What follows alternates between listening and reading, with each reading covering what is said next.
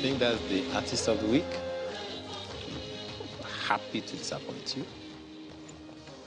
Who is the artist of the week today? Um, it's a certain gentleman whom I used to know many years ago, a comedian, You don't know actor. him anymore? Ah, well, I begin to wonder because I've not seen him in about 30 years. Hmm. So, um, Brosie, Pray for me. Pray for me. Gbenga Olayinka the third. Adeyinka. Adeyinka. Ade- Adeyinka the Just pray for me. Pray for me. Benka. See, this one that you've not seen me in a while, you've forgotten my name. I need prayer. but I, I was just saying that I saw you last in 1444. Uh, which century was that? That was just before Lord Lugard Which Lord decided.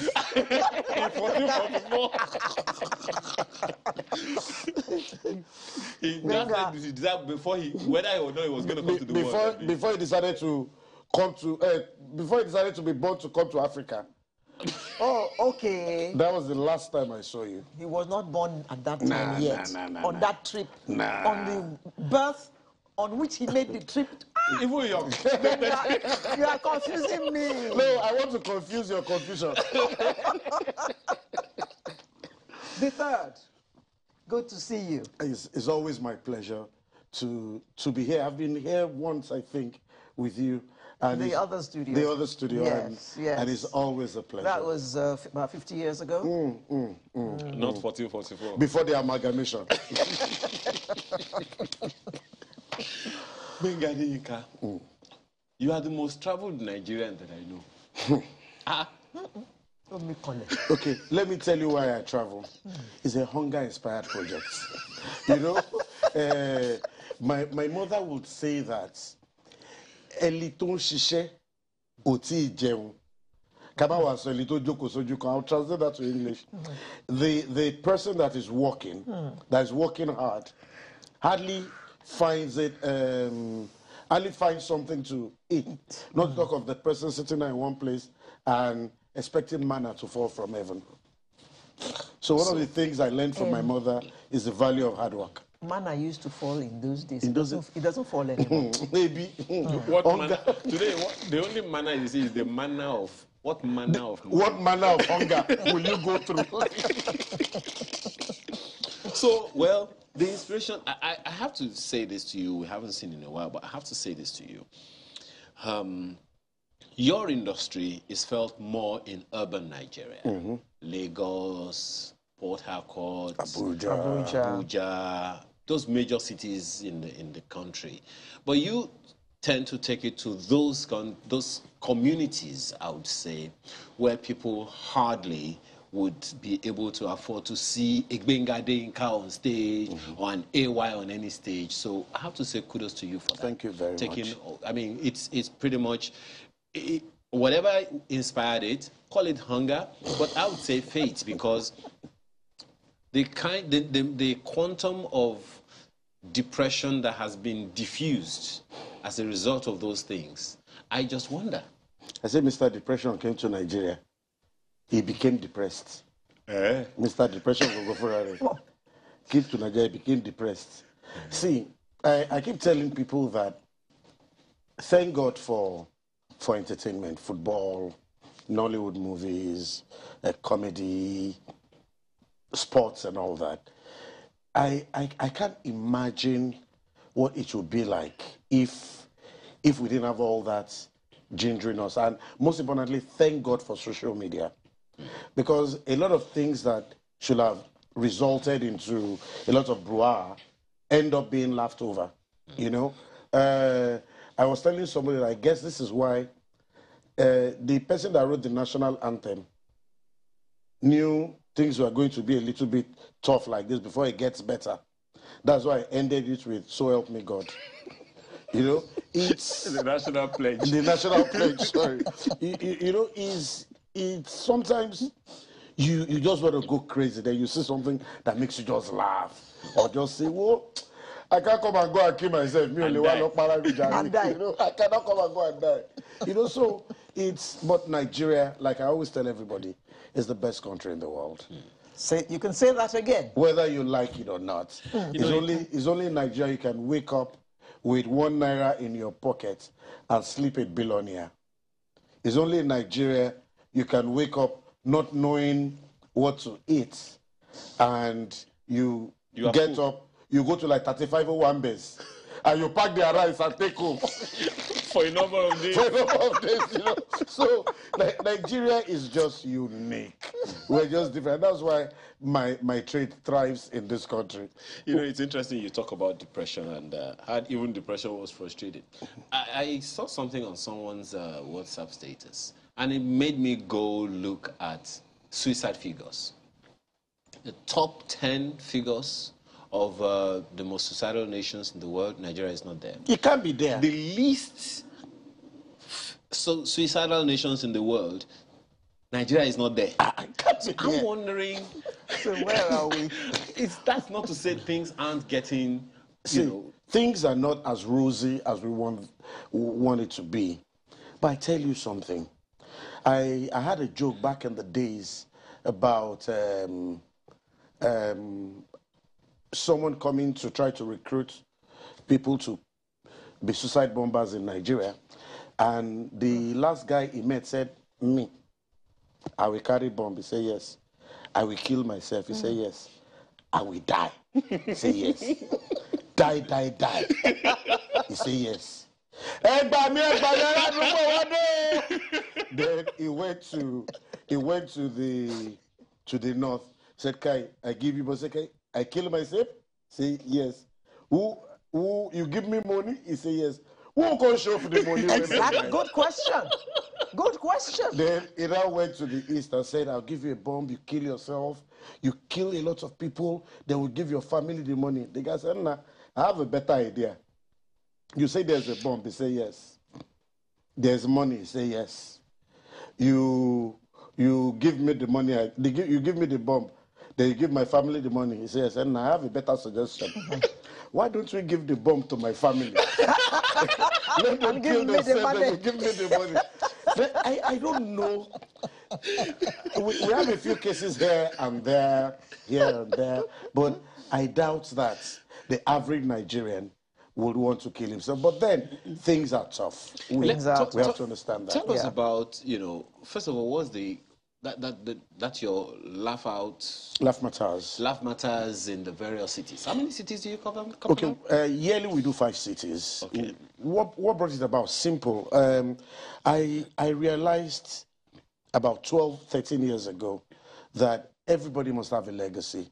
When you're dead and gone, some, you must be remembered for something. And I felt just being popular in Lagos, I'd, I'd had the, the good fortune of working all over the nation, the 36 states of Nigeria. And I kept, something kept dragging at my heart, asking me, what would you be remembered for? What would you be remembered for? And that was the era of area, area, worry, worry, you know, for worry. So I decided, why don't I build the comedy sector in this part of the divide? So we started the Laugh Matters Southwest Comedy Tour. We've done Abeokuta, uh, okay, we first start, we yearly we start in Ibadan. From Ibadan, we move to Oshogbo, we move to Ado Ekiti, we've done Ijebu, we close in Abeokuta. But this year we're having what we call Lagos at last. After donkey years, we're doing Lagos. But what, what I wanted a platform that would give young generals the opportunity to grow. The, I, I've always believed that you don't necessarily have to come to Lagos to be big. And 12 years down the line, I dare say that we've built so many generals and they, they are comfortable in their skin. They're comfortable walking where they are. In fact, a few of them are coming to have their shows in Lagos now and go back.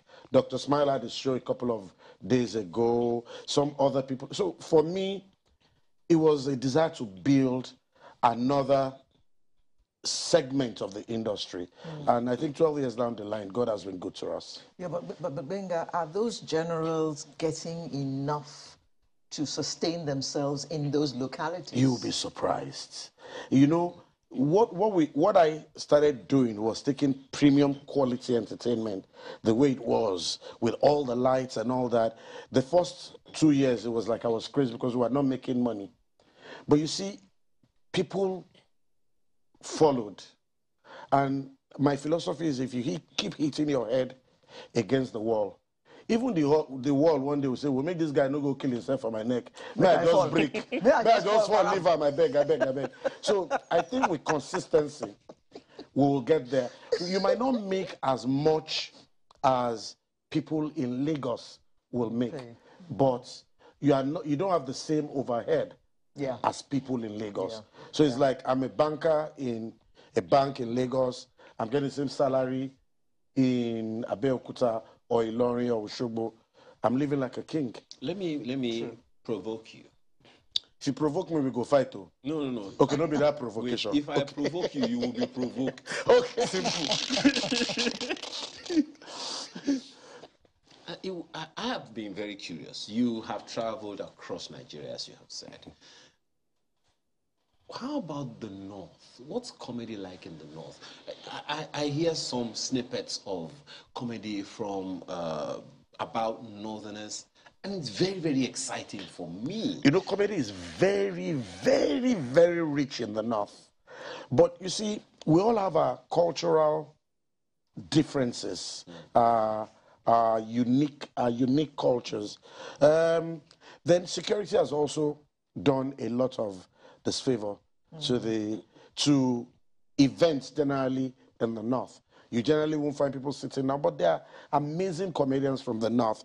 There is um, um, there is uh, the guy who, who behaves like the president, yes. uh, MC oh, okay. There is my brother who is always in a lot of the commercials. Okay. You know, we have people in skits. If you see the skits coming out of the north, but you see, one thing we have to get right. I, I, I keep telling my colleagues that one thing we should always preach is for peace and unity in Nigeria because we are the first victims of disunity, insecurity, and all that. Because, like they say in local balance, now who chop belly full or would they safe go come talk say he won't come watch your show, you know. So if things are safe, if things are sound, you'll be surprised in the east and the north, in the mid belt. I don't. They don't call it middle belt anymore. It's, mid, uh, it's mm-hmm. north central. North central. Please, north central. No, no, no, north central. It's not north. No, no, no, no, no. no, no, no. It's a long course. No. Wow, wow. Yes. So you know, by, by the time we can get a semblance of peace, you'll be surprised. And it's not just the comedy industry. You'll be surprised how vibrant the spirit of the Nigerian is. Mm. You'll be surprised at what innovation will come out of this country. Gbenga, I have noticed that there are a lot of comedians around now. It's like uh, they're, they're just crawling out of the woodwork. Um, and I know that you older comedians have done a lot to encourage these young ones to come on board, and sometimes you actually give up jobs so that they can get jobs. Mm -hmm. Is there really enough job to go around? there are over 200 million people, I'm told. In Lagos, I'm told we're about 21 million people. Mm -hmm. Let's do a law of average. Um, if 10%, if 1% of 21 million people get married on a Saturday, there's enough job to go around. All you just have to do 1% of 21 million is just be faithful to your art. I tell I tell my younger colleagues, be faithful to your art. Okay, back in the days, if I come across and say, ah, I'm a comedian, oh please, if there's any opportunity for me to showcase what I have, I'll mm. really appreciate it. Mm. But now the the the refrain is ah bros i be comedian o abeg if any show dey wey dem fit pay your guy o i no mind your guy broke o that is the that's the kind of mindset we have now. Mm. and i tell them don't chase the money. If you keep chasing the money you keep chasing. Chase your art. Money will chase you. I understand that. The money is chasing you now Ah, no, I'm saying. says the man who said he, he was he had a hunger-inspired project. Yes, so hunger. You, no, but the truth of it is that. No, of course you, I understand what you're saying. Uh, if you Just, put money first, more often than not, mm. than not rather, you would um, end up disappointed. Just, just, you get disappointed. We have about 30 seconds or so to go. What's next to be expected from Bengadi for the first? He will play. He will plans to fail. He will fails to plan, plans to fail. I have a couple of projects like the Lagos at last I told you, we have to conclude the tour in Abeokuta in October. We call October and October to remember. But by and large, I, am looking at a situation where, you know, every time we use comedy as as an attachment, I'm looking at us having a comedy TV station, a comedy radio station. There's Comedy Central. There is um, 32 FM in Ibadan.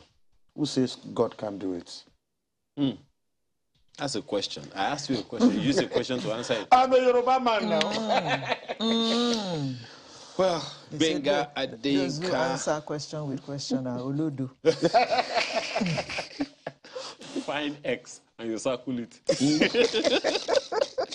CX. Yeah. CX up here. Where will you find me that? Maths is another issue for another day. I, I would have said that joke, but we have only 30 seconds. we have to thank you very much for being here today. being Gbenga Adeyinka, comedian, actor, writer, and grand com- no, no, no, comedian of the Federal Republic. Grand comedian. Grand comedian ah, of Nigeria. Of, Nigeria. My book is almost ready. I will invite you for the GCON. For the launch. Yes. GCON. CFR. Okay. That's what I told the president when last I saw him. That the reason they invited me for this job is because they know that only a GCON can stand and face a GCFR. and afterwards I said, Hey John Torio long. Now play with play. Thank you so much, Okay, and that's our show for today. Thank you very much for staying with us. Hope you enjoyed yourself and hope that we shall see you. No, hope that you shall see us again next week when we bring you a fresh edition. I'm Alero Edu. Bye bye. Stay true to you. I'm Ayo Makinde. Have a wonderful rest of your weekend.